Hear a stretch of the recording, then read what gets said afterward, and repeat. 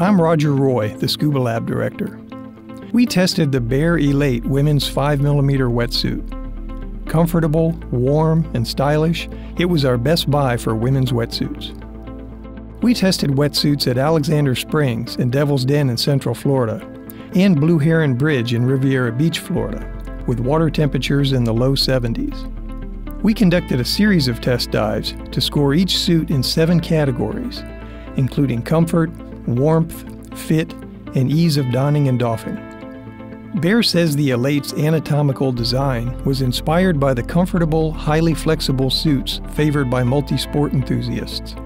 Whatever the inspiration, the Elate impressed test divers with the way its high stretch material and form fitting cut kept the suit comfortably against their skin without restricting movement. Moves with me, not against me, one test diver commented.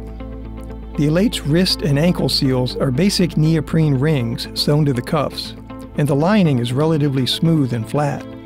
But the suit's body hugging fit kept seals and lining close enough to do their job helping the Elate earn a very good score for warmth and an excellent score for effectiveness of its seals. Where the Elate excelled was comfort, from the anatomical collar with wide smooth skin lining to the flexible fit throughout.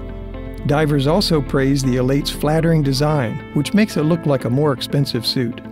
The Bare Elate is our best buy for women's 5mm wetsuits.